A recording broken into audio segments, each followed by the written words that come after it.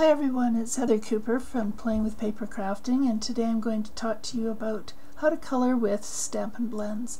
We're going to be working with the Petal Passion um, Designer Series paper and uh, you can add color to it which is really nice. We're going to be using uh, two shades of several different Stampin' Blends mixtures and I just wanted to show you some of the features. There's a, a thick line at one end and a thin line at the other. The thick line shows the brush tip, uh, which is really nice for larger areas where you don't need a ton of control. And then the thin line is for um, more of a marker tip, which I'm really enjoying. Um, it gives you a lot more, I guess, control because it's quite stiff. So um, I find it much easier. So I'm going to start with the flower over on the right there and we're using the Rich Razzleberry, uh, the two shades. And there's a couple of ways of doing uh, um, coloring with markers. So you can start with your lightest shade and you can just lay down um, a layer of the lightest shade on the area that you want to color. So I'm going to go ahead and do this as you can see. And we'll just speed it up so that we don't have to watch it. Looks kind of like paint drying. After this, we're going to take the darker shade and we're going to um, add some shadows to what you're seeing here. So I'll just show you how that works.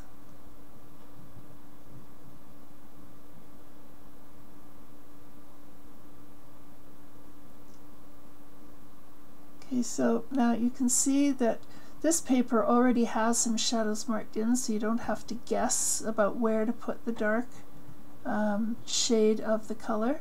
So we're just going to go over those shadow areas, but I also like to add it where for instance, the petals overlap each other.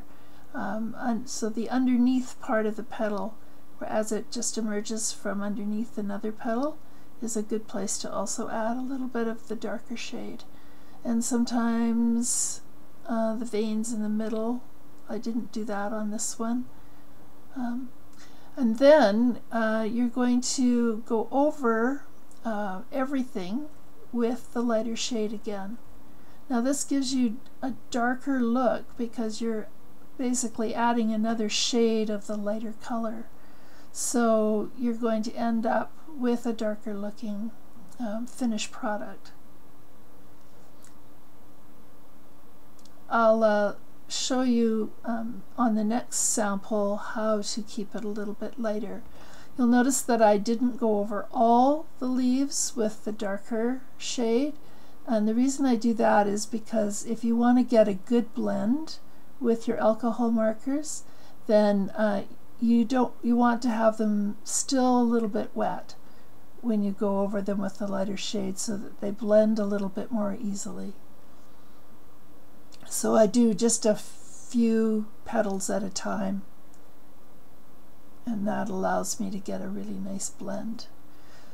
So the deal about alcohol markers is, of course, that they blend so easily.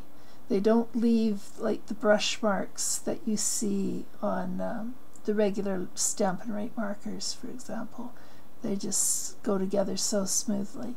You can also use them on regular Whisper White cardstock without the cardstock um, disintegrating, which is really nice. So now I'm going to show you the other method of uh, coloring with these Stampin', or Stampin' Blends. So in this method you're going to add the shadows first with the darker shade. Here I'm using the darker shade of um, Pink Pirouette and I'm adding actually quite a bit, maybe a little more than I would with another color because the light shade of Pink Pirouette is so pale. Uh, you can barely tell there's a color there. So um, I'm, I'm wanting to add a little bit more with the darker shade so we get um, a little bit more to see. So now notice that I only did a, a, couple of areas and now I'm going to go over that with the light shade of pink pirouette. And I'm just blending those shadowed areas, the dark color, in with the light color.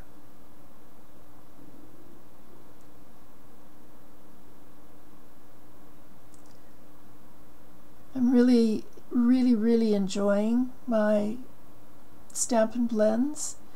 Uh, I had the original blendabilities and I was so sad when they were taken off off the market and we weren't able to get them anymore because um, they just do such a terrific job of coloring your images and it's just so easy and painless to do it. I'm kind of enjoying having just two um, shades rather than three that we had with the blendabilities. It just makes it a little less complicated. So I'm again filling in the darker areas, the shadowed areas, with the darker shade of Pink Pirouette. And then I'm going to go over it with the lighter shade. And that's the second method of blending with your blendabilities. Or sorry, your Stampin' Blends, not blendabilities.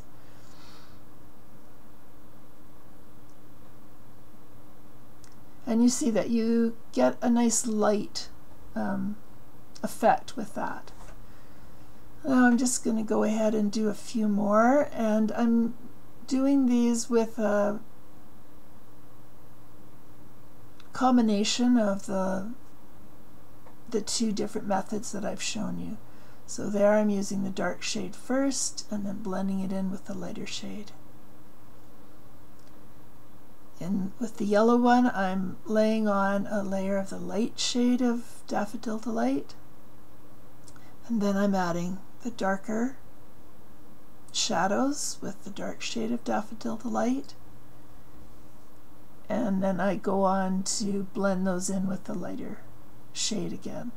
And that gives me a bit of a darker look. There I'm going over it with the lighter shade.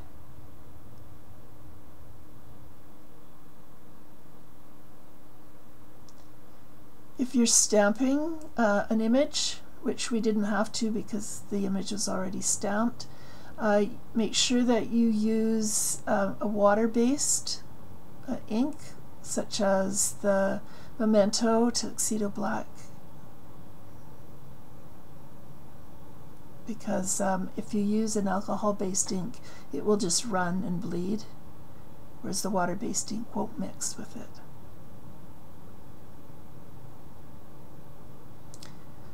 So that's the first method I showed you. So I laid down a base of the lighter color and then I'm adding the shadows with the darker color. And you can see as I go over the light to blend it in that I'm getting a darker look.